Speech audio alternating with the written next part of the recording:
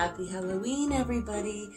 Welcome to, Titanya's Toddler Tips. And these come out every single week on Tuesday. And you may see my son, Sequoia, in this video. But many times I can't make him do things. A toddler is just that way. So sometimes you'll see him, and sometimes you won't. Today's topic is all about nightmares. Yes, nightmares. So, nightmares are different than night terrors. And with nightmares, you can really help calm the child down.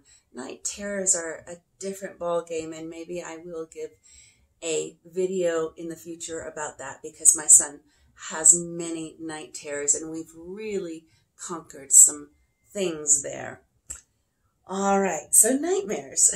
nightmares sometimes are caused by stress in life or a reoccurring theme that goes on in, in a fear of a child in when they aren't sleeping.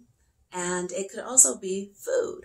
Food, especially sugar. I remember when I was young, my mother would not give me sugar before I went to bed because it would cause me nightmares. But sometimes even watching a scary movie can do that too. So there's many causes of nightmares, and usually they are pretty much um, unresolved issues in your life. So, anyways, with little kids, nightmares seem so real to them. And when they wake up in the middle of the night, it's very difficult to get them to go back to sleep. So I'm going to give you an exercise for getting them back to sleep and calming their emotions.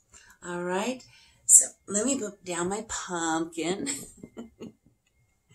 All right. So nightmares are usually occurring in this frontal lobe, the amygdala.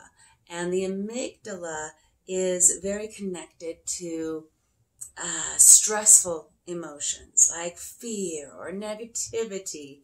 Um, and so this exercise is so easy to do. And all you would do is take your hand, you can even rub it and warm it up. But when your child is whole, you are holding your child like I'm holding my cat.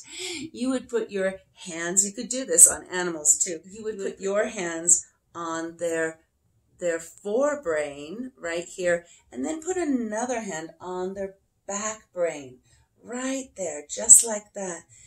And eventually they will start calming down. It's a really good thing to do when a child has this reoccurring thought going over and over and over again, like in a nightmare. It's very hard to turn off the brain. And when you hold the front brain and back brain of your head, the blood will go back into your head because when you have fight, flight, or freeze, even if it is in a nightmare, it reacts in the same way. And the blood leaves your forebrains in order to go into your limbs in order to run away or fight. Ch- when you are holding your child in this place, if it doesn't feel good on their skin, you can also do a couple of inches away, just feeling their energetic body and just hold there. And eventually, their nerves will start to calm down and they will just fall off to sleep.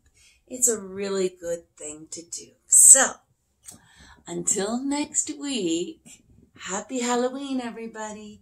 Have a wonderful weekend, and we will see you back here on Tuesday. And, and if you ever want to know about my work with children and their families, go on over to energymedicineforkids.com.